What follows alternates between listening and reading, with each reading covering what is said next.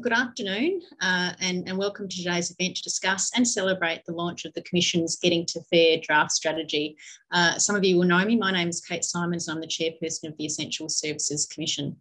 Uh, to start, I would like to make an acknowledgement of country.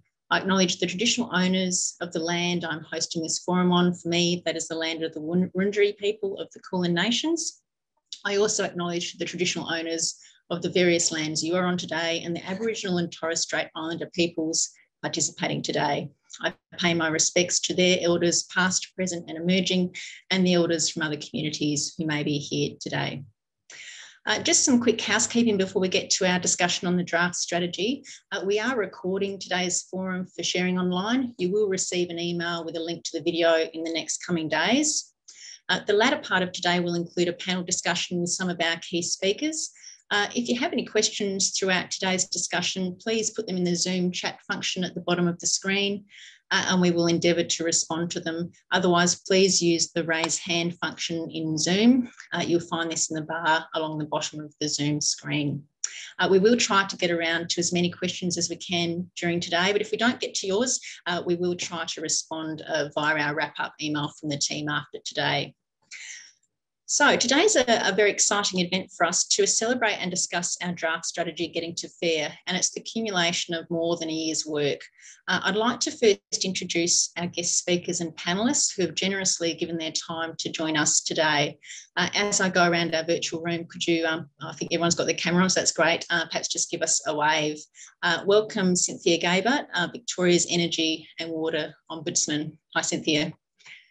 Uh, Gerard Brody, um, Chief Executive Officer of the Consumer Action Law Centre. Hi, Gerard. Uh, Sarah McNamara, Chief Executive of the Australian Energy Council. Hi, Sarah. Uh, and Pat McCafferty, Managing Director of Yarra, Yarra Valley Water. Hi, Pat. Uh, we also have with us today my fellow Commissioner Simon Corden, uh, who's the Strategies Sponsoring Commissioner and will be facilitating our panel discussion this afternoon. Uh, I'm also joined by my fellow Commissioners Sitesh Bhojani, and Rebecca Billings might be somewhere in the background as well. Hi, Rebecca.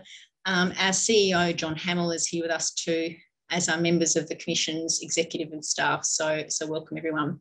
I'd also like to acknowledge everyone participating today. We've had over 200 people register for this forum, uh, which is a really amazing response. Uh, and today we have representatives from, just to give you a flavour of who's around the, the virtual table, uh, the Energy and Water Ombudsmans of Victoria and Queensland, uh, the Australian Competition and Consumer Commission, uh, the Australian Energy Regulator, Department of Environment, Land, Water and Planning, Department of Health and Human Services, uh, members of the community health sector, including Vincent Care, Salvation Army, Justice Connect, Anglicare, Uniting Care, uh, re representatives from the telecommunications and banking sectors, and also representatives from energy and water businesses really fantastic to see so many people interested in this work and being part of today's discussion.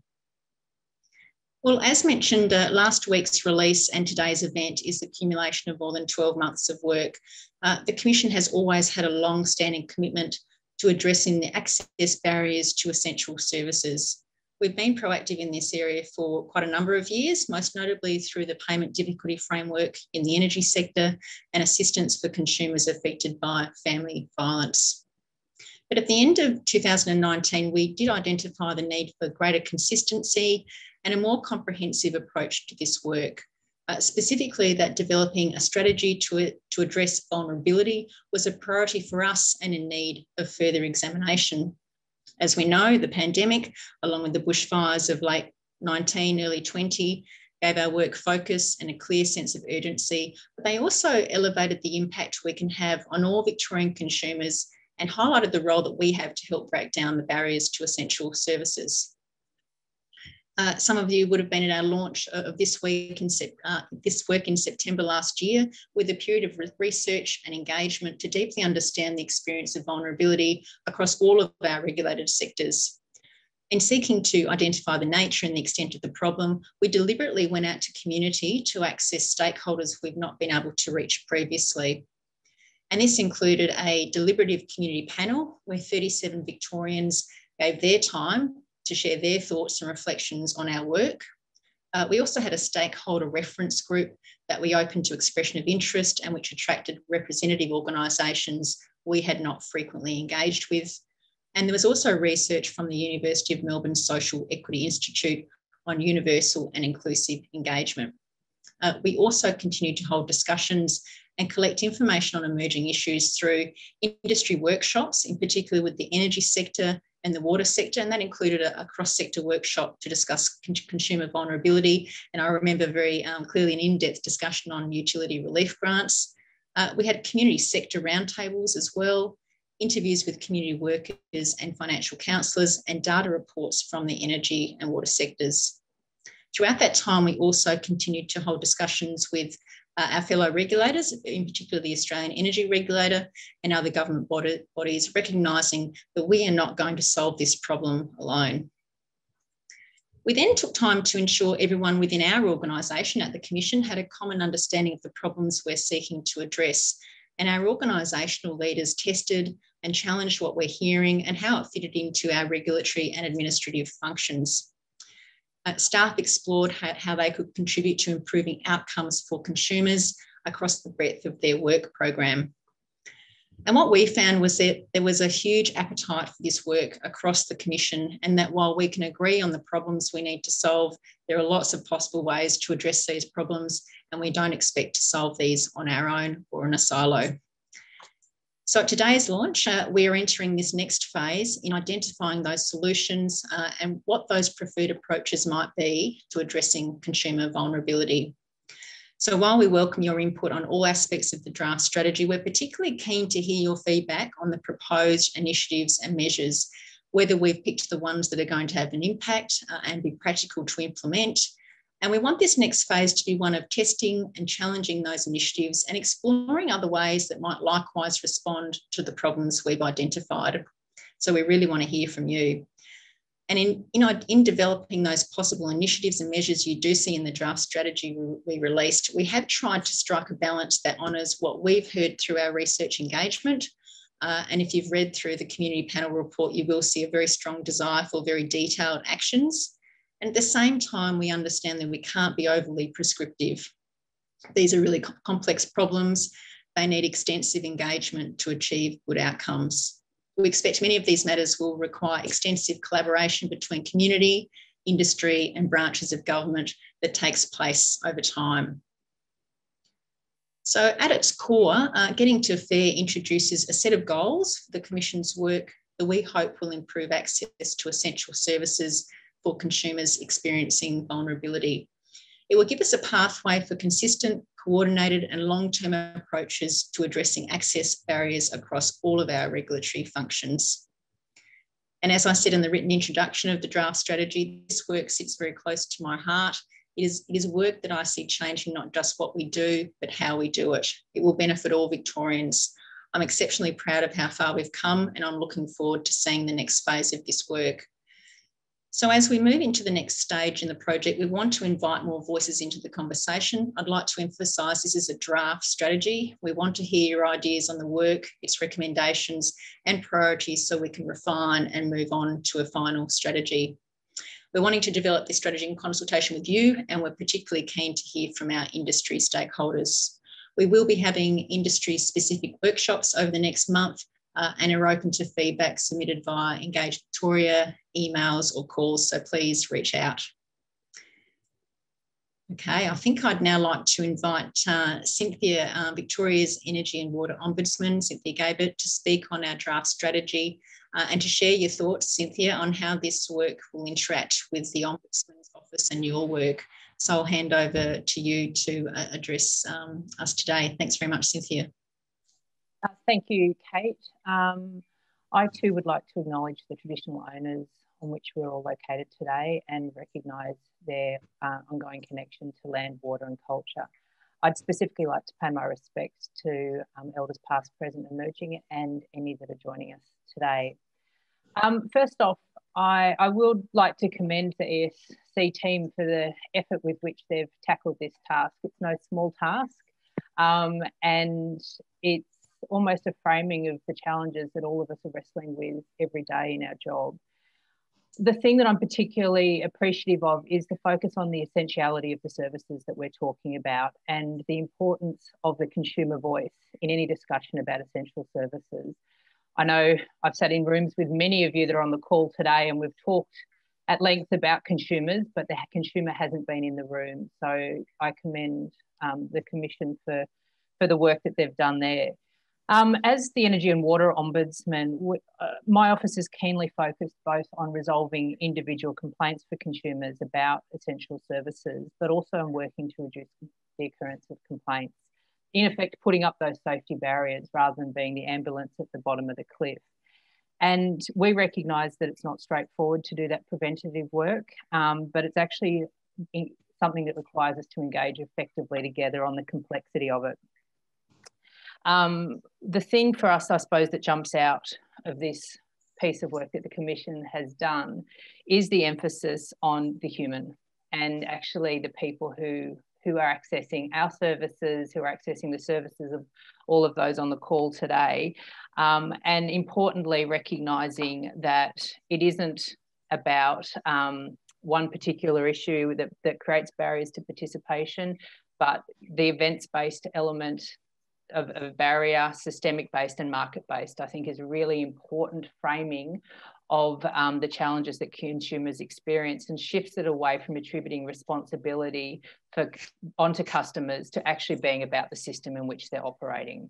So while on the one hand, bringing the human voice into the strategy is important, it's not about attributing responsibility onto the human for why um, things are going wrong that is especially important from our perspective because we are talking, as I said before, about essential services. These aren't nice to have purchases. These are essential to the way that we operate into society, and a focus on improving how we're able to access these is really important.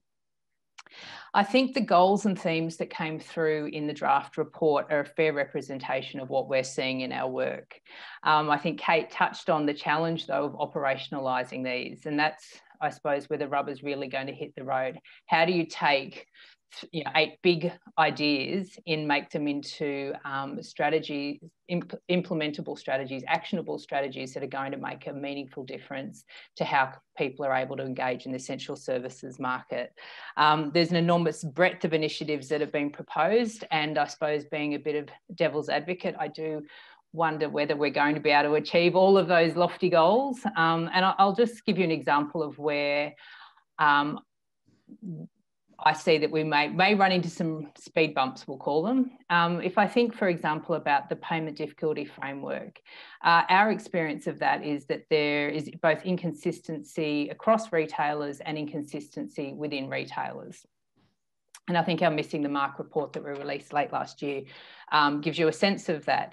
So um, it's great to see that the Commission will be reviewing the payment difficulty framework and really the customer experience of the payment difficulty framework.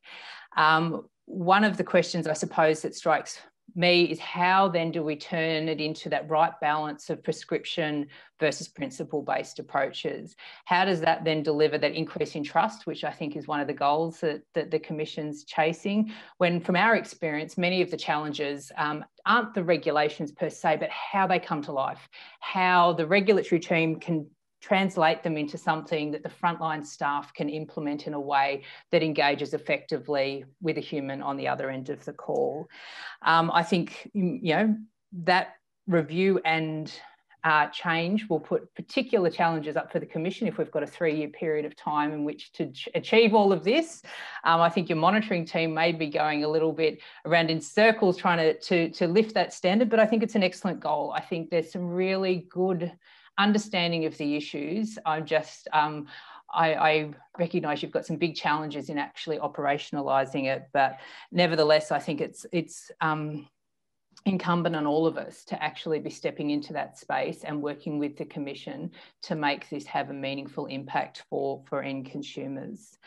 Um, I have plenty of other challenges I want to throw out, but I'm, maybe, maybe I shouldn't be doing it too early and stirring up things too much. But I think the thing that for EWOV and hopefully for everybody who's on this call is this is a draft strategy that is able, that the ESC is really seeking our engagement on. This isn't going to be fixed. None of the issues that are presented um, in the draft strategy are going to be fixed by regulator operating in isolation from all of us that are on the call today. So we will be actively engaging in the process. Um, the end goal is an outstanding end goal, and I think it will only make an impact if we're all fill our space and actually engage effectively in this process to deliver something that makes a difference to the consumers of essential services. So I might leave it there, Kate, um, before I stir up too many too many what ifs and maybes you. Well, thank you, Cynthia. Always welcome to steer. I think sometimes that's where the, uh, the, the best robust discussion and better outcomes come from. So I appreciate you throwing some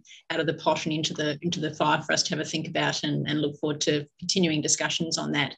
Look, I think um, you've uh, you've highlighted a couple of things there that absolutely are front of mind for us. So working with um, you and, and EWOV is a key relationship that will keep um, keep helping us to deliver the benefits of the strategy. Absolutely, it's an enormous breadth of challenge before us, but I think we need to grasp that with both hands and take that forward as best we can together and not, not in isolation, as you say. So I think um, excellent to hear some of the key initiatives you feel we should focus on, which is the payment difficulty framework and energy, and making those, I guess, those customer outcomes really come alive through working with the sector, with you, uh, and with other regulators. So, uh, look forward to working with you, Cynthia, and absolutely happy to have a chat uh, in the coming uh, weeks and months about um, those operational um, issues that might come from some of the breadth of the, the goals and themes that we've set forth. So I appreciate that, Cynthia, and um, thanks very much for being here today. Uh, Simon, I think um, I'm now going to hand over to you, who and you're going to be introducing each of our speakers uh, for some presentations and a, and a panel discussion. So I'll hand over to you. Thanks very much, Simon. Look, thanks, Kate, and thank you to, again to everyone for attending today. Before we get to the exciting panel, I just want to echo Kate in acknowledging the traditional owners of the land um, I'm working on in the land of the Wurundjeri people of the Kulin Nations. I also acknowledge traditional owners of the various lands that you are working on and the Aboriginal and Torres Strait Islanders peoples participating today. I pay my respects to elders past, present, emerging and elders from other communities who may be here today. So as the Commissioner responsible for shepherding this work, uh, with, uh, I'm thrilled to be at this stage of the process. As Kate said, uh, we do want to hear your, we're really critical to hear your feedback. While many of our draft initiatives um, contain 90% of the final piece when we when we put out a draft decision. Um, this strategy is different. Um, these are our preliminary our possible initiatives and we're keen if you think that some of them need to be refined if you think some of them will add little value or if you think some of them um, there's initiatives that we should be proposing should be doing that we haven't included. We're really keen to want to know uh, know that from you this is the first time in Australia a regulator has uh, presented a strategy like this. Um, we know other regulators are looking at this and working on this. I know the AER in particular is doing a lot of work in this area and will be putting its own strategy out uh, later this year. Um, but we want to, and we want to make sure that we get this right as part of listening to you and uh, developing something that can truly benefit all Victorians.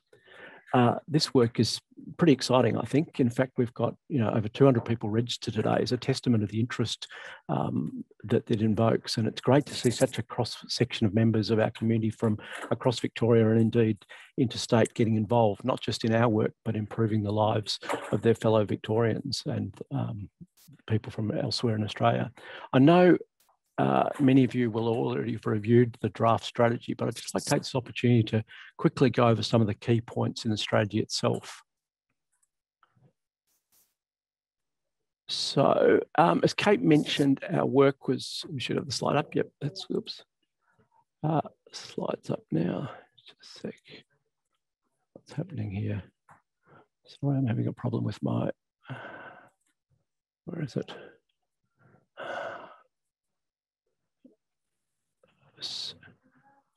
Apologies, I'm just having a problem when the slides come up. I've lost my notes.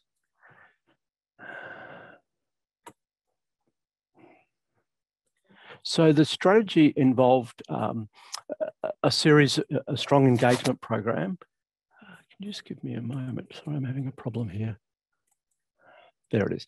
Um, as Kate mentioned, our work was very much uh, focused on understanding the consumer experience, um, including the engagement process with some stakeholders that we don't typically have an opportunity to reach out to. From this engagement process, we took inputs from each to develop an understanding of the problems we're seeking to solve. Core themes we heard uh, relate to communications, engagement, support, and trust. From those, uh, from these problems, we've identified goals and we're now seeking to identify initiatives which will help us operationalise those goals. We've identified these as possible initiatives and are generally interested in your insights as to their likely impact and feasibility. We, um, I think it's great to get Cynthia's uh, caution on that, and that, that we need to recognise the true challenges here. We need uh, your involvement in understanding and uh, to help identify the right set of activities uh, for the Commission to be prioritising, reflecting the fact that there are, uh, we've got limited resources, but so have you in the community sector and in the business sector as well. So we've been wrestling as we develop this strategy, how to be specific to uh, with those initiatives and measures. If you've read the community panel report, you will have seen they had a very strong desire for us to commit to a whole series of very detailed actions. Um, and we've been uh, somewhat less uh, defined in the actions that we're specifying in the draft strategy because we want to work with uh, you, the community sector, and the business, uh, the industries as we move to the next phase. So we're trying to find a balance between providing some structure for your involvement. We're keen to open this up to both business, uh, industry, and community so we can help find solutions together. You'll see from the timeline that uh, the team is just sharing that where we are. So all the work that's been done to now has fed into this strategy document. And as Kate has said, now that we've released the draft strategy, we're entering the consultation period before we finalise the strategy. But we've repeatedly heard through this process that we need to think carefully at how we define vulnerability itself. And that term vulnerability is in itself incredibly loaded. So the team's just sharing the slide with the definition that we've created to help uh, structure our work, that a person experiencing vulnerability is someone experiences barriers to participating in the essential services we regulate or administer. And as a result of those barriers, that person experiences economic and social exclusion or harm. Uh, we had some feedback from the community panel that that doesn't need to be economic and social exclusion. It could actually be economic or social exclusion. So we'll look at uh, how we refine that definition. But this definition allows us to acknowledge the experience of vulnerability is not just about barriers that someone might face, rather it's about barriers they might face rather than any potential trait about them themselves.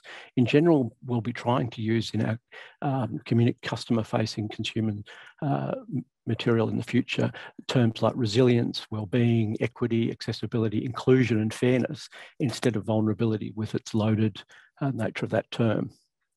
Uh, so just like to reflect, this strategy to date's been an incredible piece of work and the initiatives themselves that we finally land on will be vital for its success.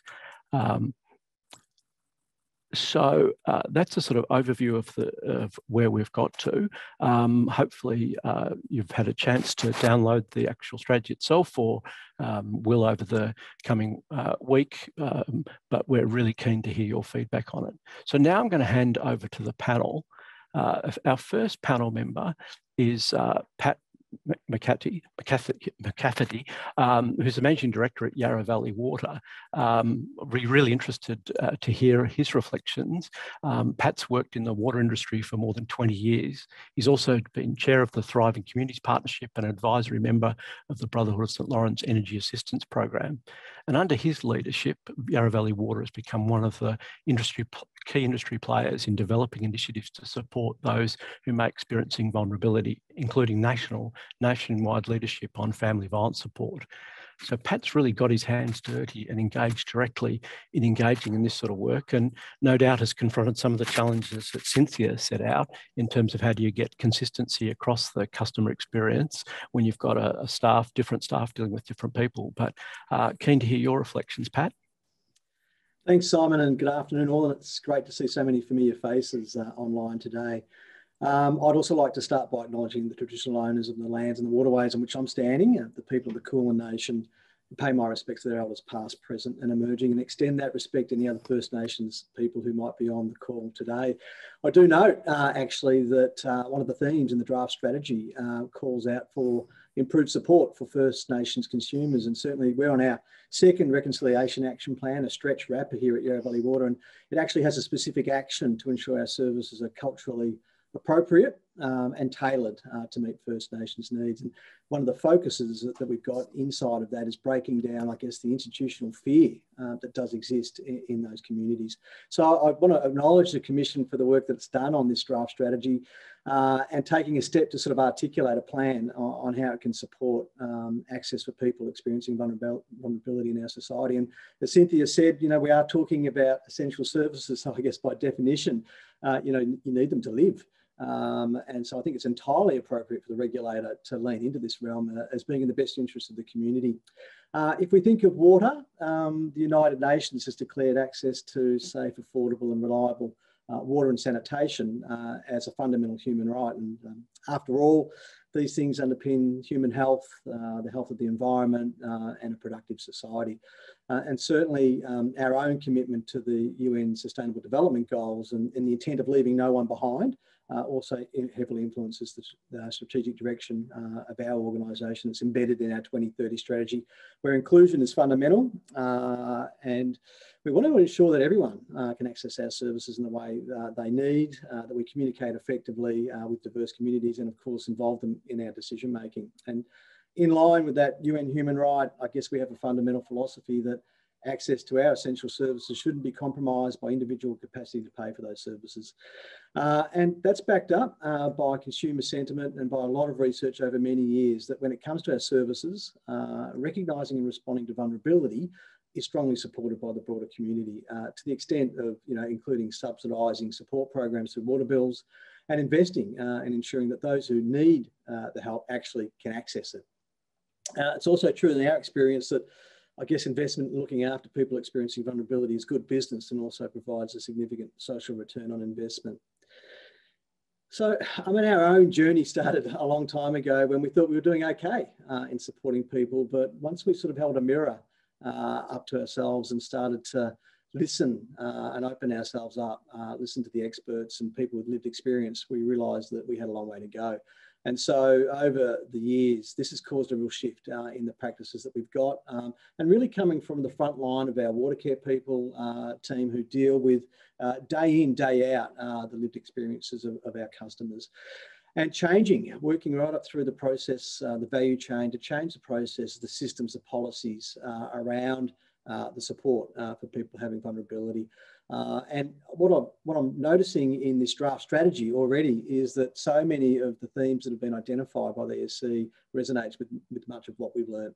So, I mean, obviously at its core, it's about communication, it's about transparency, it's about organisational culture, it's about being very clear what you stand for, um, and it's about making sure that people know that you're there for, you, for them, that you do care and that building that confidence so that they can have those conversations with your organisation uh, and it's a safe place for them to do so. And I certainly think uh, the Victorian water sector has been generally pretty effective uh, in assisting people experiencing vulnerability. And a lot of that was amplified uh, during COVID, uh, where we came together and really shared all of our practices and put some minimum um, you know, standards in, a baseline, uh, if you like, to make sure that we could all you know, help the people in our own communities. Um, and I think this strategy is really along those lines. It's a, it's it's about lifting all the boats, um, including other sectors, um, and it provides us with sort of a common foundation, if you like, and a set of guiding principles for ensuring effective and dignified support for those that need it. And, I mean, obviously, being government-owned um, monopolies, our context in water is a little bit different, but I do think that when it comes to issues of vulnerability, you know, competition should be left at the door. And we're huge advocates uh, of collaboration to address systemic issues. So that's why, uh, you know, I think Simon mentioned the Thriving Communities Partnership. We're very keen to support establishing that. It, it's a vehicle for bringing essential services uh, providers together with the welfare sector uh, and other uh, stakeholders uh, with a focus on ensuring that people have access to the services that they need to thrive. For example, water, energy, telecommunications and banking. Um, and related to this mission, a lot of, again, of the themes that the uh, ESC has identified, uh, namely, um, people uh, need confidence uh, and trust uh, in the system and in the organisation, the service providers, to actually seek their help.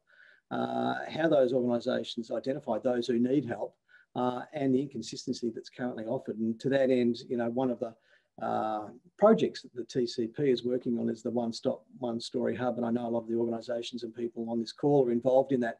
Uh, and that's really a central system that we want to build for those that need help. So they only have to ever, ever have to tell their story once uh, to get proactive support from the essential service providers. And we do know that most providers do have programs, but it's a, it's a very difficult process to try to access them sometimes, and certainly for people uh, that are experiencing vulnerability.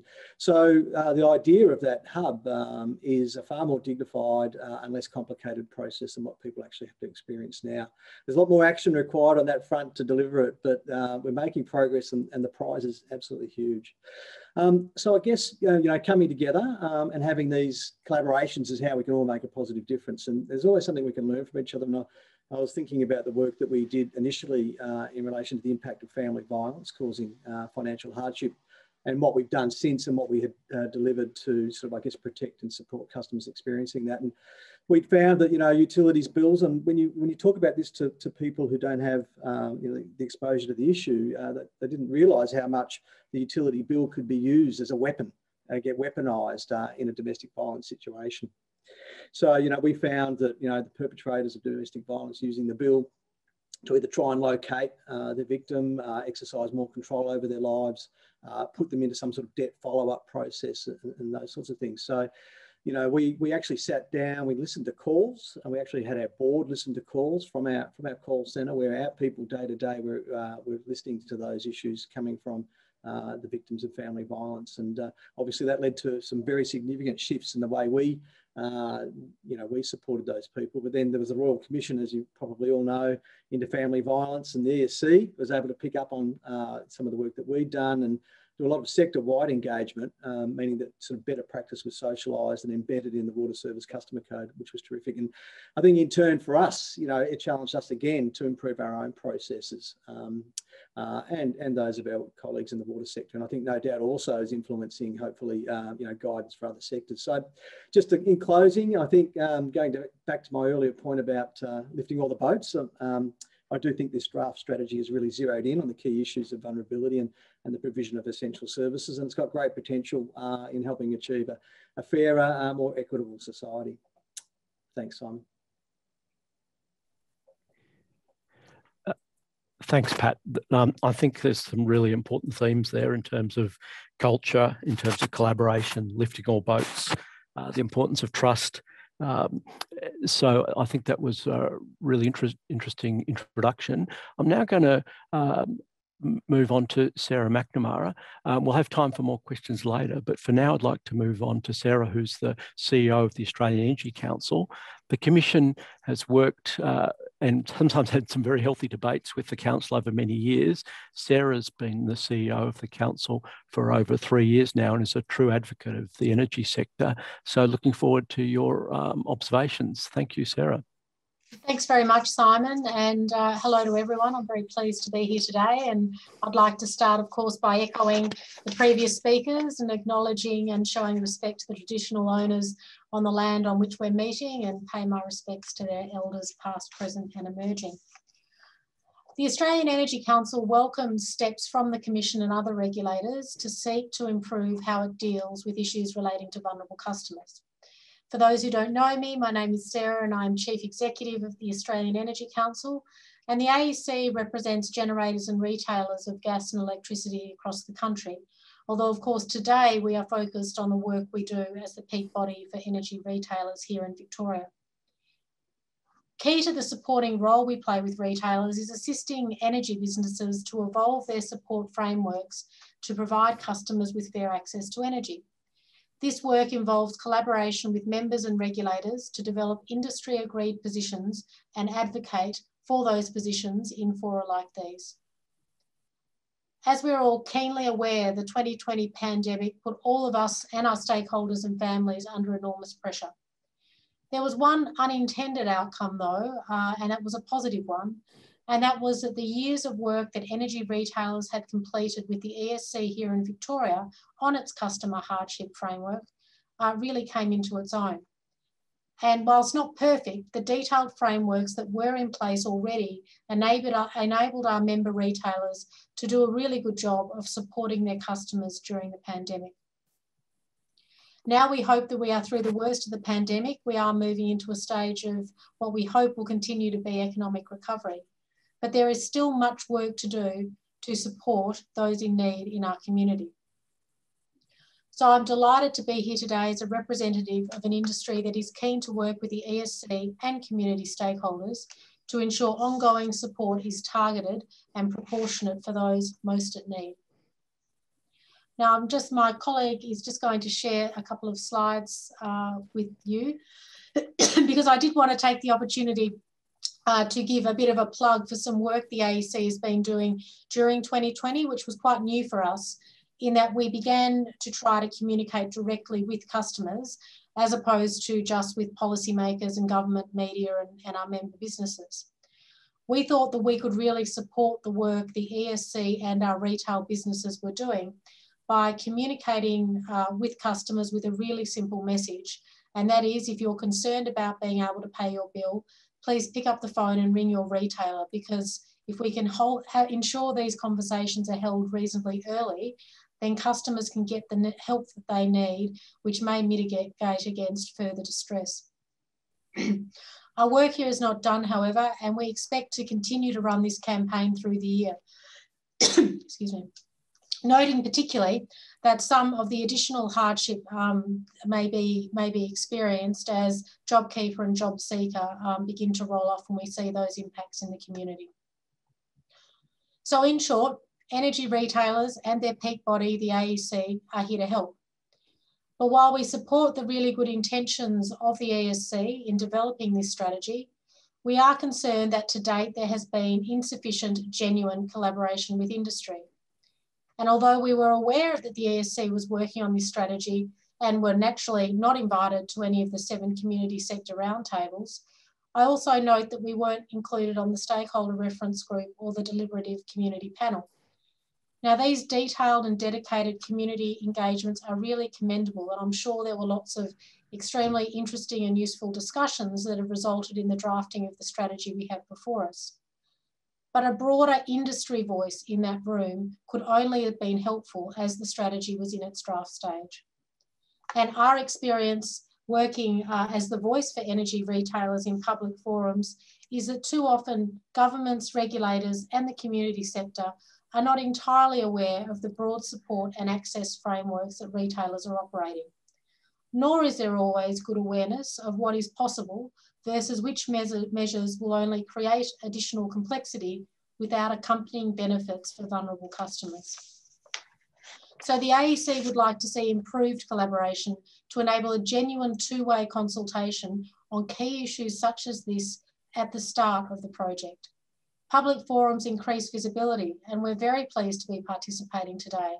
But these forums have, uh, in, in their nature, fairly limited open engagement, so should be a method of hearing views rather than the primary method of speaking with industry.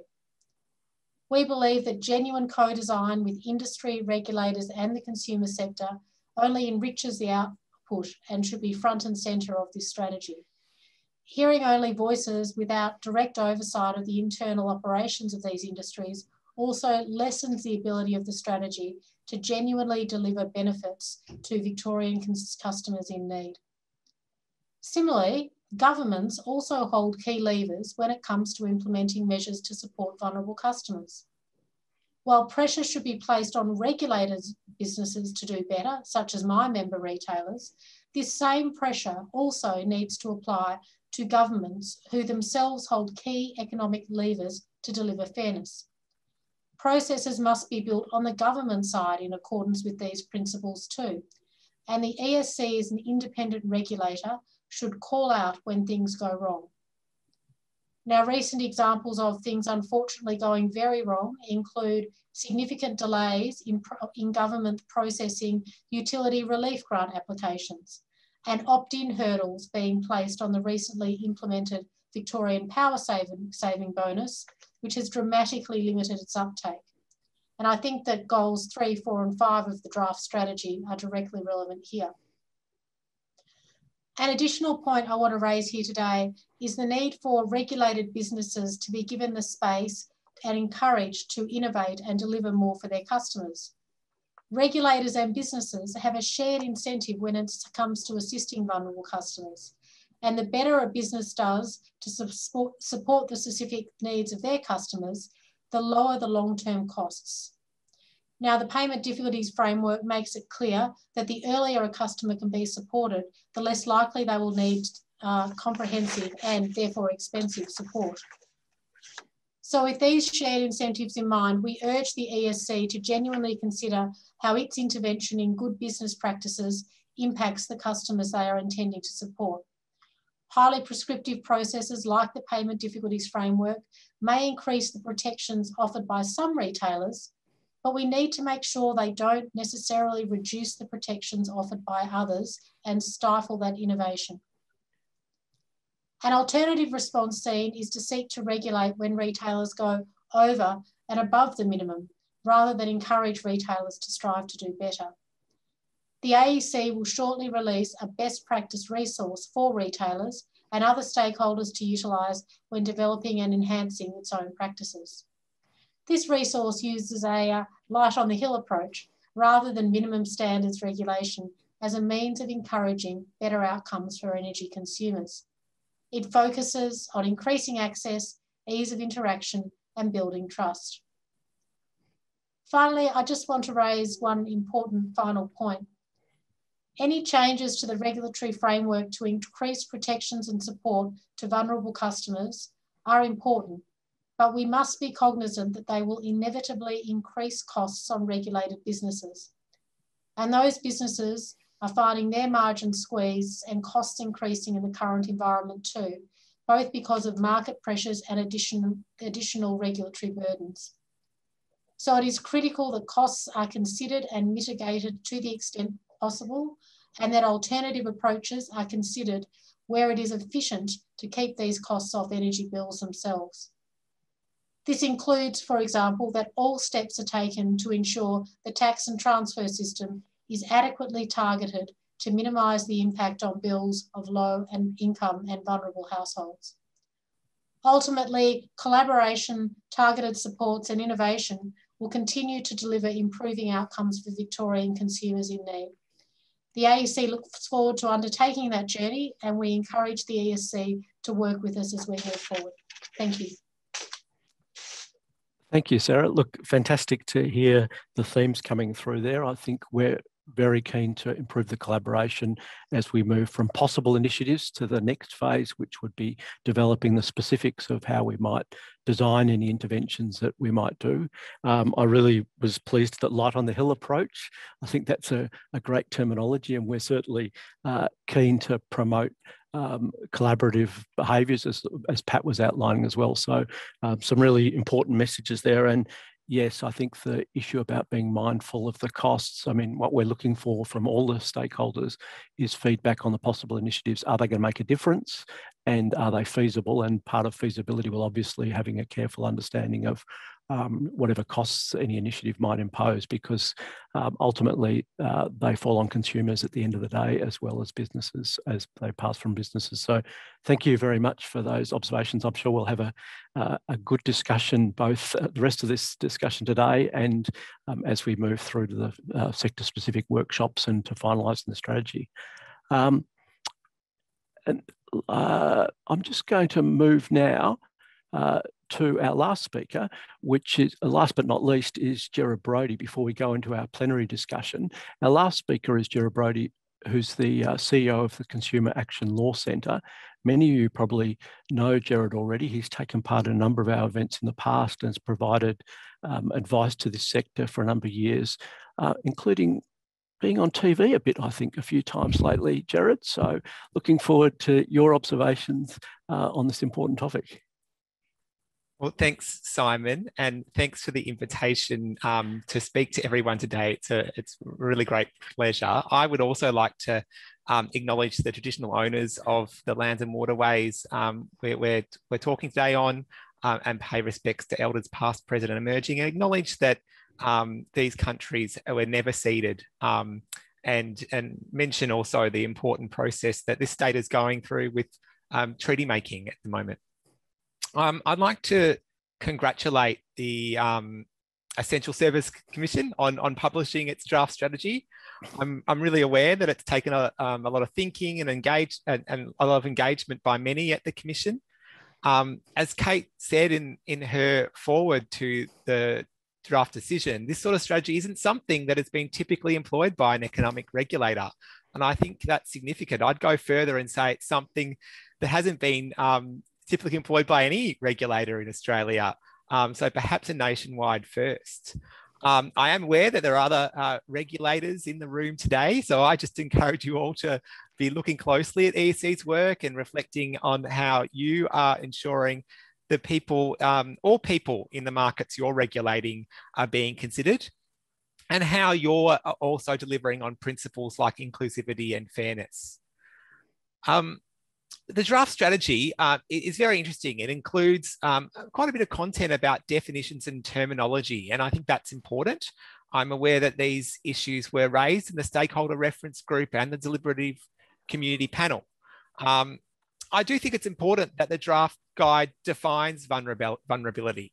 Um, I, I, think I spoke previously about these issues um, back at the um, 2019 National Consumer Congress um, and suggested that, that we really must, in any sort of def definition exercise, uh, be recognizing that nearly anyone can become vulnerable. Um, it's vulnerability is not an inherent uh, quality or characteristic of a person, but an experienced um, caused by barriers to access. Um, uh, at that time, I referred to the, a definition that was developed um, following a large European Union study, and it covered uh, people who are at higher risk um, of experiencing negative, negative outcomes in a market, having limited or less ability to maximize their own well-being, having difficulty in obtaining or assimilating information, being less able to buy, choose, or access suitable products, or are more susceptible to marketing practices. And I think the ESC's proposed definition in its draft strategy, with, with its focus on barriers to accessing essential services, is similar. And I think that's really welcome.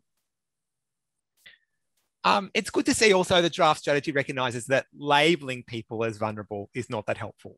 Um, when we communicate with the public, I think it's really important to recognise there's a real diversity of experience out there. Um, and so we really need to be using inclusive and open language rather than labelling people.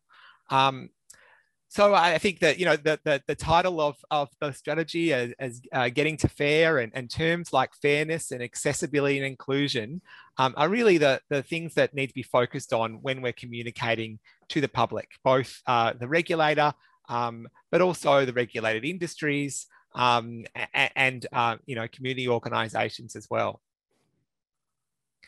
The themes um, identified in the draft strategy are quite broad, and I'm not going to comment on them all um, there is a focus on, on good communication, good information, and engagement.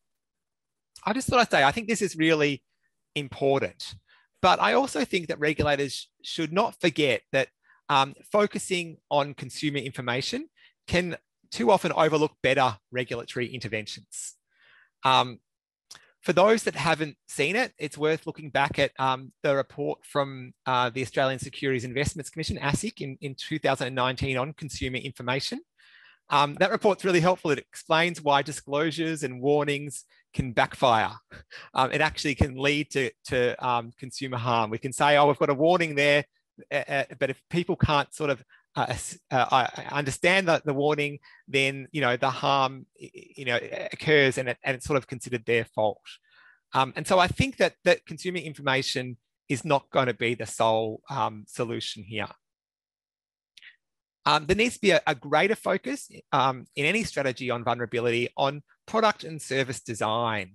Um, the principal, principles of inclusive design are really essential. That is, des designing products, services, or consumer experiences so that they're accessible to and usable by as many people as possible.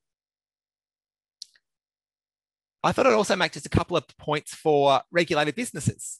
Um, I'd really encourage them to be looking at this draft strategy as an opportunity um, and, and, to think about um, how to implement their own strategies to respond to consumer vulnerability. So I was really pleased to hear it, some of the things from, from Pat and Sarah just now. Some businesses, of course, are, are doing this already. Um, I've actually been impressed recently by uh, the work um, via the energy charter of a number of the energy retailers and distributors working together through a knock before you disconnect trial, which this involved uh, field crews contacting customers um, rather than immediately disconnecting them for overdue gas bills. Um, and the pilot showed that 80% of disconnections were cancelled um, and customers stayed connected. Um, so that's a really good example of, of, of being innovative and, and, and developing systems and policies and processes that respond to vulnerability and, and the way people actually behave. Another example um, I'm aware of from the UK has involved with um, some of the industry peak bodies in the finance sector developing really great training programs to build understanding and share best practice about responding to consumer vulnerability. For those that haven't seen it, Google the Vulnerability Academy. Um, it's been also involves the Money Advice Trust in the UK, and there's some great podcasts there as well. Finally, I just wanted to comment on the focus in the ESC's draft strategy, strategy about um, listening to consumers. This is, this is really essential. Um, and I'd encourage the regulator and businesses uh, to develop um, strategies to ensure ongoing engagement directly with those people that have or are experiencing vulnerability. I think this really needs to go beyond speaking to representatives like me. Um, it also needs to go further than you know, traditional business practices like market research that is used to identify customer insights. Um, I think this sort of work really needs to consider the importance of lived experience and immersive engagement. Um, an example from our work is, at Consumer Action has been um, the Day in the Life program, which we've run with Financial Counselling Australia over the last few years. And in fact, all of the um, commissioners, I think, now have participated uh, in the program, which involves spending some time listening to calls to the National Debt Helpline and understanding the work of financial counsellors. Um, I think this sort of activity um, gives a real depth and richness of insights by actually hearing about someone's financial stress, the story uh, that they turn up with.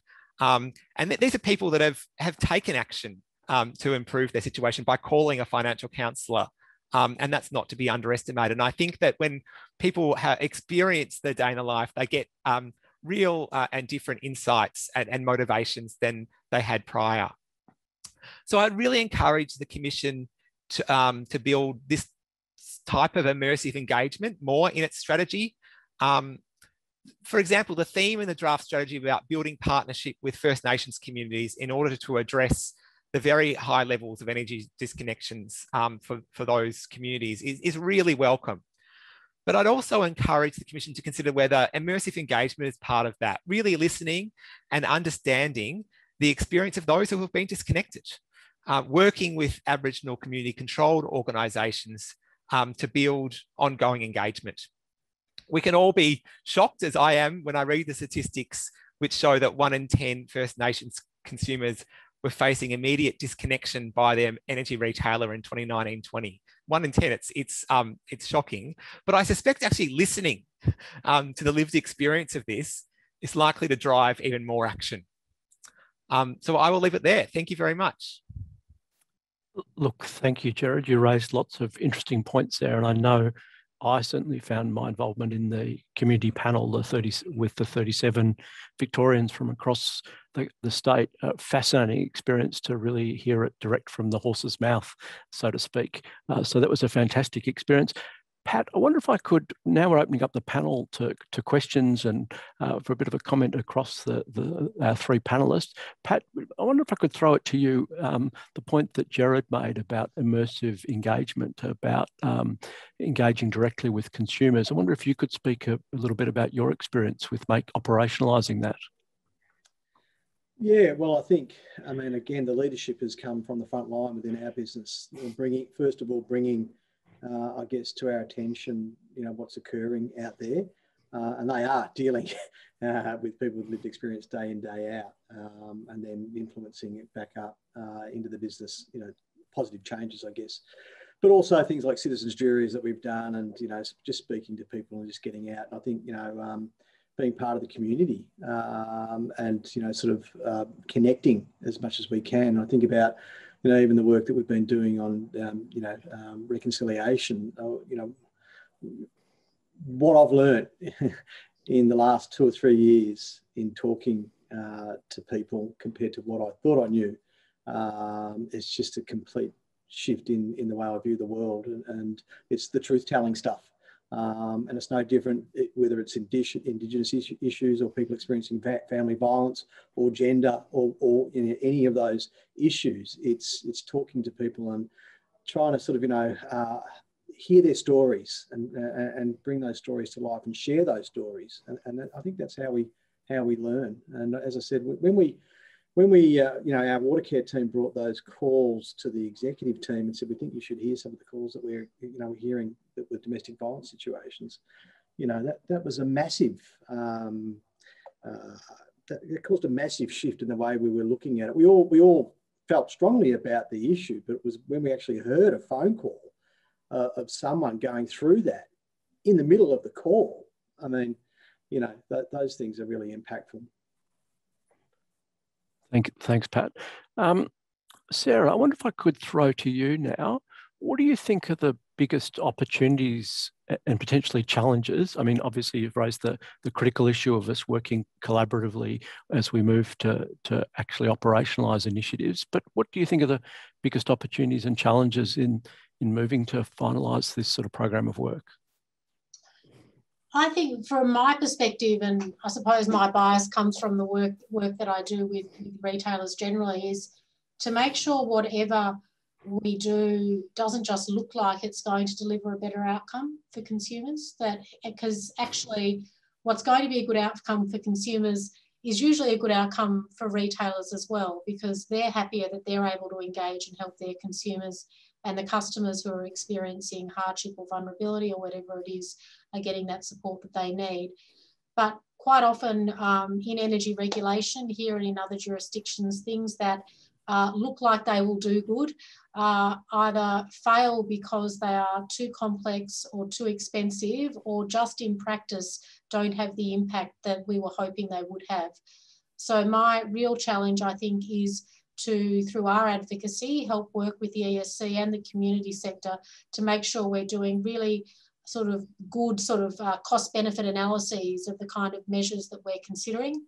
Um, and that cost question is really important because um, retailers do need to minimise the cost and minimise the complexity for consumers at the other end as well. We think that's very important. Fantastic. Uh, and one of the things I reflected on in the last year is how much we can learn from businesses that do things well and translate that more broadly. I know, Pat, in your sector, uh, the water sector, the um, water retailers have been helping their consumers fill in the URGs forms, the utility relief grant forms, which as Sarah noted are not the simplest and it's not the smoothest process yet. But I think the experience in the water sector, you'd found that that had been very beneficial in terms of getting, helping consumers uh, get the assistance they need and also, also pay their water bills, which is good for the businesses.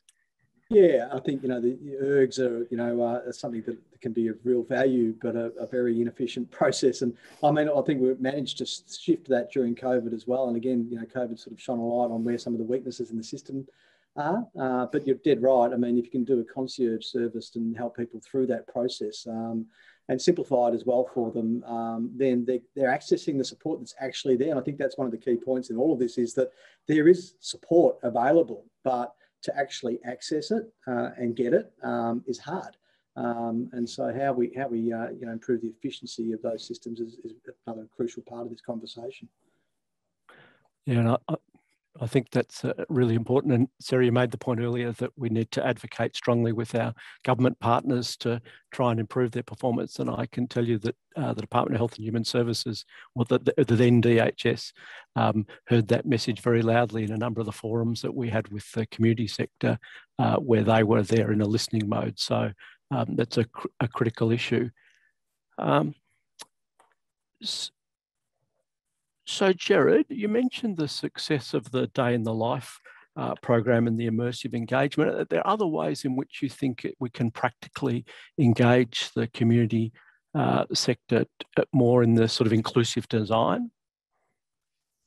Yeah, I think that those, I mean, immersive engagement is a broad term. So there was lots of different ways to do it. And I'm not saying that I, I know all, all, the different ways. There'll be many people in this room that have got great ideas about how to make that happen. I mean, I've seen um, uh, you know, I, I, understand that many of the businesses do this directly themselves, making sure that they, um, uh, you know, Pat talked about listening in on on calls from people who might have been experiencing family violence to really understand what the impact was. Um, uh, so there are things businesses can do themselves. Um, in terms of the commission, I think that um, you know it's just going to create.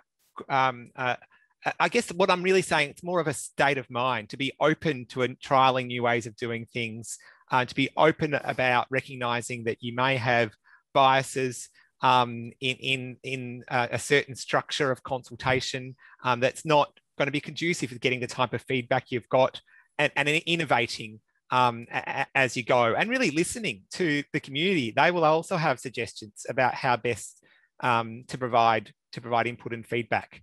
Um, look, there are other things that can be done to be more proactive. You know, I'm aware of uh, some of our colleague organisations like Good Shepherd have run immersion programs for, for bankers by taking them out into the payday lending stores and seeing what they're like. Um, so there are different ways in which um, uh, you can you can do this. I thought just um, I, I, might just say something um, picking up on something Sarah said about um, costs and benefits of this work. You know, there, there will be costs um, to the regulator, to the industry, to better respond to vulnerability. But I think we've also got to try and focus on the benefits. Um, you know, that having more appropriate consumer transactions, people making more informed decisions um, about the products they need, um, greater reductions in financial difficulty during to, due to you know um, people getting on the right deal, the right product to begin with. Um, you know, if it's implemented correctly, we'll re have reductions in, in psychological stress experienced by people because they'll receive more timely help and support. And there'll actually be consumer time savings, from better quality interactions, no having to chase you around, chase around the business, call them five times. Um, uh, you know, avoidance of complaint and redress procedures, and that, that's a, a saving to industry as well. So I just encourage us to also look at the benefit side of the equation when we're looking at costs and benefits. Can, can I jump in there? Um, Absolutely, go Pat. We've done a, a, fair bit of work, and I think it's all been socialised. But you know, there is a business case with associated with this, a positive business case. You know, and um, uh, chasing chasing debt that's not going to be paid doesn't make any business sense. Um, and you know, so you know, when, when you can, you know, provide a, a, helping hand, not a handout, and help someone get back on their feet, the loyalty to the organisation uh, and those sorts of things, you know, um, uh, is part of the return. So I, I do think if you look at these things in a holistic sort of economic perspective, you will actually see a different, see it through a different lens as well.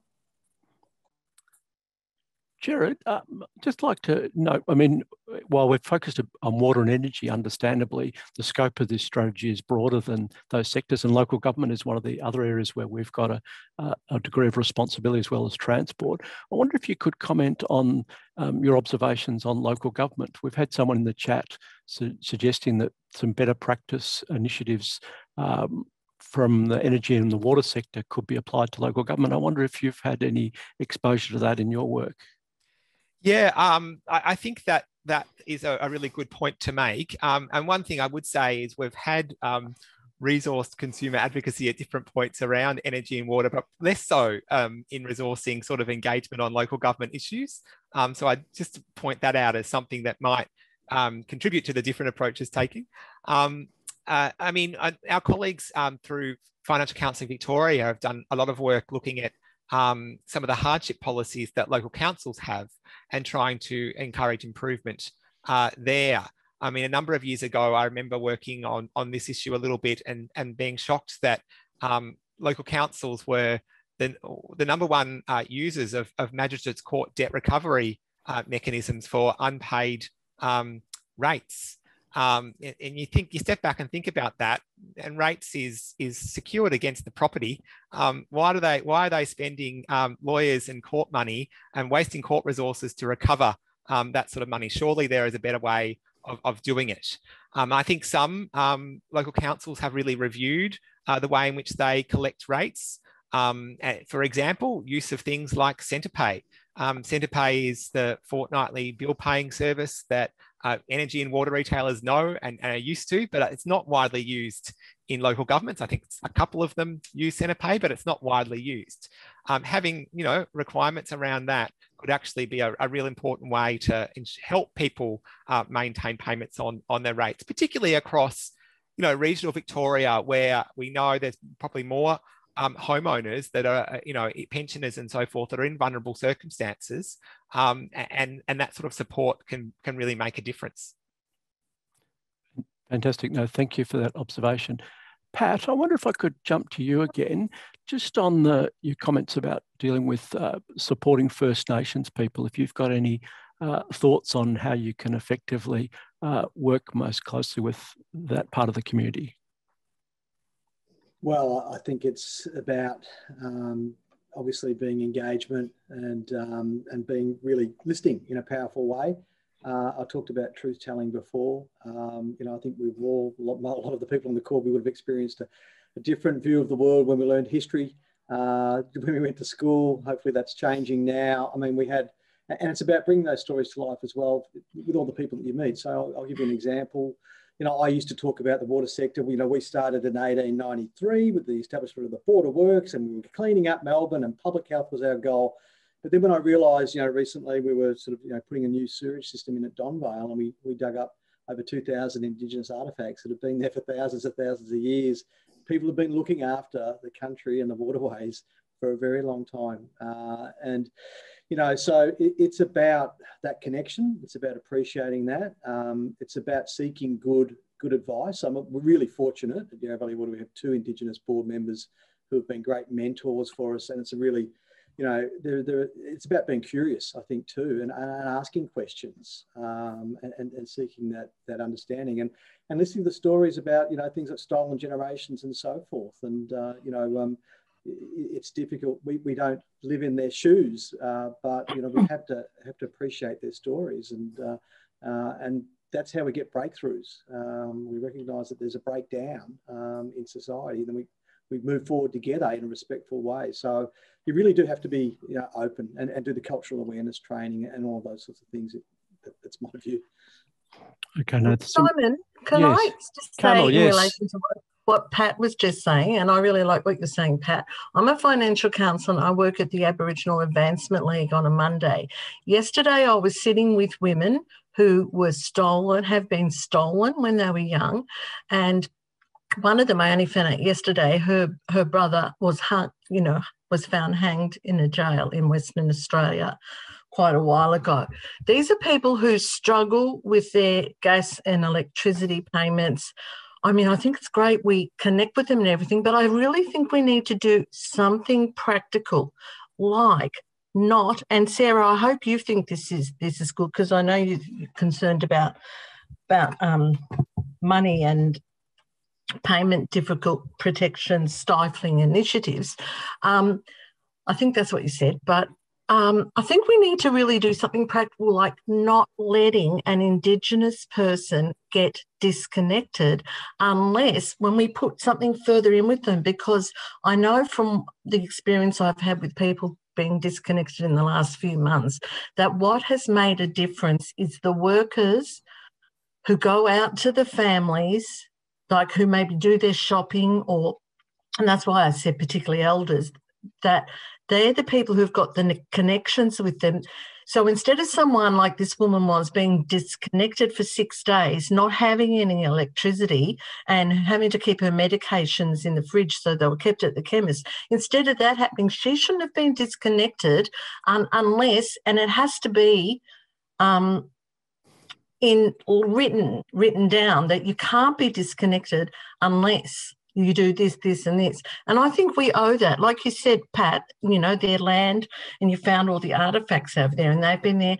I think we owe them, we do owe them this. And I I really hope, I really hope we can do something about it this year. Anyway, thank you for listening to me. Thanks, Carmel. I think that's a really important point. One of the things I think we found through our consultation, Carmel, was uh, the important role of intermediaries, trusted intermediaries, that often mm. uh, people are receiving these letters and uh, or reminder notices and whatever and not knowing how to deal with them. And uh, financial counselors and others can be really valuable intermediaries between the person who's experiencing vulnerability and the um, retailer or water business or local government they're dealing with. So i think that raises a really important point. Sarah did you want to respond to that at all Oh, look, I absolutely support Carmel's concerns. And I think one of the challenges for the industry is that there are circumstances where disconnection, which as we know is a very heavily regulated and controlled area, is used as an option of absolute last resort. And no one likes to do it. Um, it is sometimes um, a tool that's used to get the customer to engage. And I think perhaps we need, we could benefit from some more consideration of how that's considered through uh, the lens of First Nations people. Um, because retailers often aren't aware of the ethnicity of people that they're speaking to. Uh, and they have lots of privacy issues around the sorts of questions they can ask and the sorts of personal information they can obtain from customers. Um, but equally, as Simon said, what they are really dependent on because they are not um, they, they are not wise in, in every aspect of a, a customer situation. What they often really utilise well, I think, is those intermediary people and people such as yourself, Carmel, who offer support and have a, an even more detailed and close understanding of the challenges that that particular household might be experiencing. Yep, that's good, Sarah. But in this case, the woman was disconnected for six days. Like something needed to happen. I mean, I think financial counsellors do great work, but I think something needs to happen. So, for all the people out there who don't go to financial counsellors, for all the Indigenous people who are sitting somewhere or other, and often, like two of the mothers who are with yesterday, they went to the funerals of their 40, 40 year old um, in their 40s um, sons-in-law in the last couple of weeks. Like there's there's too much tragedy in there and hardness in their lives. So that's why I really want something in like you can find out if someone's an Indigenous person by saying, Are you of, you know, do you identify with being Aboriginal? I mean, we put that in, but then we need to do other things. And that's what I really like us all to, to meet about. Yeah. So, Carmel, um, one of the initiatives that we're proposed um, in the in the strategy is reviewing the payment difficulties framework, and I think the issue you've raised will be a really critical uh, element as we work through with that. Uh, just now, I'd like to call on Sitesh Bhojani, uh, one, of, one, of, my fellow commissioners. You mm. want to make an observation, Satish? Thank you very much, Simon. Thank you for that. And uh, just fascinating to listen to this, and thank you all for your participation. But what uh, Carmel has just been raising has really struck a chord for me in terms of some of the comments we were hearing from the various panels through the, throughout last year. And I just wanted to ask Sarah whether in terms of collaborating with yourself and the energy sector industry, Sarah, one of the suggestions that was made was the importance of Indigenous liaison officers and whether you think that uh, your members might be open to a suggestion of that kind to deal with these sorts of issues. Well, I don't see why we wouldn't be open to having a discussion about the suggestion, Sitesh. I mean, we'd want to have a look at what retailers are doing already in this space and the extent to which we can build on that in a positive way um, rather than duplicate or replicate um, some engagement that may already be going on. I mean, every business has its own um, not quite bespoke approach, but its own way of connecting with communities that it's that it really identifies as needing support, particularly. Um, so we wouldn't want to push that to one side. We want we'd want to use the knowledge that's there and enhance it where we can and where it makes good common sense to do so. Yeah, no, that's great to hear. Thank you. Thanks, Sarah. I'm sure the team and even the commissioners would be great, uh, delighted to engage with you on that issue to see if we can try and facilitate some meaningful outcomes in that sense. Thank you.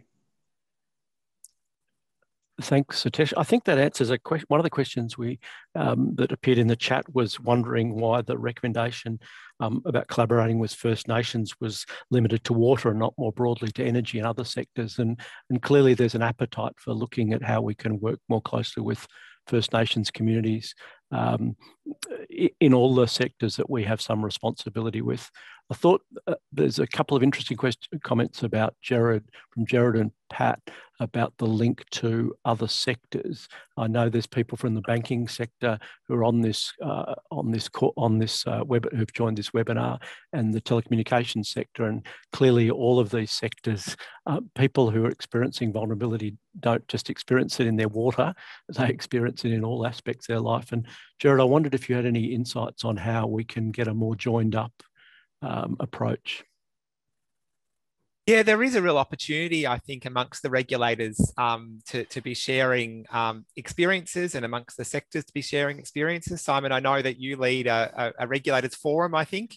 Um, and I think that sharing what you're doing there and encouraging other regulators to consider how they can um, also develop similar strategies to ensure that in the markets they look after, um, you know, people are, are, are, you know, the, the, barriers to access and, and ensuring of uh, are, taken down and, and, ensuring inclusive services is maintained. I think that's a key way. And I guess that, um, you know, as part of what you're suggesting here by, um, you know, the, the focus on listening to customers, I mean, listening to their full experience. Um, you're right, they're not just an energy bill um, or, or, an energy debt. Um, they are a person um, with um, a, a, range of life experiences um, and being aware about, um, you know, ways to support that person more broadly. So things like referral pathways are, are really important. Um, and it's something that we, have worked a lot on with some sectors about you know, when to make appropriate referrals to, to financial counsellors, for example, when people do have multiple debts or multiple concerns, it's a really important time to be making um, those referrals. Whereas if it's it is just the energy bill they're, they're, they're struggling with, um, then you know it's important that the, the, the energy business does um, support that person directly under within their existing obligations. Um, so yeah, I, I think that listening to customers um, means that really understanding their, their full spectrum of, of their lives. I think that's really important. Thank you. And I saw in the chat there's a comment asking if we'd been in touch, touch with Centrelink um, or Aboriginal housing um, have been involved in discussions for the strategy. Uh, I don't think we've been in touch with either of those organisations to date, but there's some really good observations there about thinking about how applying concessions to all your utilities when rentals are set up. So that's the sort of ideas we're hoping to, to, to get through the development from this phase as a draft and draft strategy to uh, to finalising it. Um, Chiara, you're on the call, I think. I wonder, just trying to think if I, I can see. am, Simon. I, have no, I have no internet because it's a bit stormy, so I've got no camera, but you can hear my voice from the uh, deep your, your voice without your uh, without the video will be fine. I wonder if you could talk about the work that um, Thriving Communities has been doing on this sort of cross-sector challenge. Yeah, look, I think part of what we're um, what we're all about is around the opportunities across different sectors. And the hub that Pat mentioned earlier, you know, we've got CBA and AGL and Sydney Water and Yarra Valley Water and um, Transurban, all involved from a, from a corporate sector. We've also got a whole range of different community orgs involved. And really, we see it as a bit of a Trojan horse, Simon, because what we're looking for is better practice across all industries. You know, what we see for people experiencing any type of of harm or vulnerability or those moments in life is that they've got a million different, you know, things that they have to do with a million different organizations, different criteria, different requirements. What we need to do is create more of an aligned response so that the humans, which should be at the center of it all, don't have to kind of go through the myriad of mazes of things to, to prove their I guess their right to access what they should already be eligible to access. So, you know, I think part of the opportunity is everyone's doing different things across different sectors. How do we all learn from each other? And I think that what, what the ESC have been doing in, in the work that you've been doing and the way you've been doing it is really exemplary. Um, I think it is going to be a space that other industries can learn from as well. And that's what we want. We don't want to create 45 different versions of you know what does better practice look like we want to try and create one space where we're all learning from each other and, and i think this is really you know really grounding work to do that too Fantastic. Look, thank you, Garrett. We really appreciate uh, the involvement we've had with your work as well. So at this point, we've had a couple of interesting, really interesting suggestions in the chat. One about using um, if we're breaking brochures and, and, other materials for Aboriginal communities that including Aboriginal artwork can be a way to uh, make it more inclusive. That's a great suggestion. And we're really looking forward to getting more suggestions as we go through the this consultation phase. Um, at this stage, I think I'd like to hand over to Kate uh, to wrap up for today. Thanks um, very much, Simon. I've been listening to all that with utmost interest and uh, a bit sorry to wrap up what was a fantastic discussion on both the draft strategy, um, but also the experiences of consumers more broadly and what this means for businesses as well. So um, today's been a really great opportunity to hear from some of our key industry speakers. So thank you for your time and reflections. I think Cynthia had to come and come and go, but to Cynthia, to Pat, to Sarah and Gerard, and to also understand your questions from the floor about the draft strategy and what this means for supporting consumers to, to access essential services uh, and the sectors that are involved. So how do we solve some of these key issues together? I'm just thinking about this is not, not about us as a commission operating in a silo. Uh, this will be a very collaborative process that aims to reduce those barriers for access to essential services. You know, front of mind for me is there needs to be practical and effective solutions, and those will only be achieved together. So I think we're all in the room uh, seeking to achieve the same positive outcomes for consumers. Um, so looking forward to working with you uh, on that. It's really been heartening for me to hear the themes raised today. Some of the pivotal ones I've, I've heard um, trust, collaboration, communication, uh, inclusive design, culture, support. And, and, key to the success of any initiatives under this draft strategies is input from our regulated and administrative sectors, the community sector, government partners, and, and other regulators in the room. So uh, just from a business perspective, thank you, Pat, for sharing your journey in, in water and your interest in stretching uh, yourself further through your business. Uh, thank you also, Sarah, for your acknowledgement and interest in, in the energy sector to continuing to work together. I know you've done a lot over the uh, uh, in terms of social media. I've seen you on social media a lot, trying to get the word out about um, you know the assistance that is there for energy customers uh, and trying to get that engagement. So it's fantastic to see. So I'm looking forward to building upon all of that with you as we move forward. Um, so having identified the problems to date, we're absolutely invested in working with you uh, and your businesses, and in fact, all the other businesses across our regulated sectors to really ensure that customers are, are supported, initiatives are practical, and as you say, innovation is not stifled. We always want those opportunities for businesses to, to go outside, uh, think about things outside the square and see where they can excel uh, to support customers. So we genuinely uh, look forward to, to working with you all. Um, can I encourage everyone uh, on the call to read the draft strategy? Uh, if you're keen, uh, please provide us with some further feedback. Um, our period for feedback closes on the 6th of June. So I think we've got about six, six weeks or so, or five weeks. And we're planning on releasing the final strategy uh, midway through this year. Uh, really excited to embark on this and have a lot of conversations uh, as we move forward in the coming weeks. So as I mentioned at the start, I think we might have got through all of the questions, but certainly if we didn't get to um, any burning questions that you had during the session today, or you didn't feel like you wanted to put your hand up or put a question in the chat, um, please feel free to reach out to the team. Uh, Alex, uh, Lucy, I'm not sure how people get in contact with you, but maybe you could put something on the on the chat. Um, and, and we'll obviously try to respond via a wrap up email, I think that's going out in the next few days, just to make sure we can connect with you. Uh, in the coming weeks, we'll also be holding uh, a workshop with each of our regulated sectors. So please look out for an invite uh, or reach out to the team here at the Commission, as I said. Uh, on that note, um, thank you again to all our speakers for taking the time, everyone else for um, attending and participating, and my fellow Commissioner Simon, thank you very much for facilitating um, the panel discussion. Uh, glad I didn't have any more IT issues uh, at the end of the call. Uh, sorry again for the delay at, this, at the start, but it keeps everyone on our toes in this new virtual world as we go forward. So thank you, everyone. Um, take care. Look forward to hearing from you. And um, thanks again.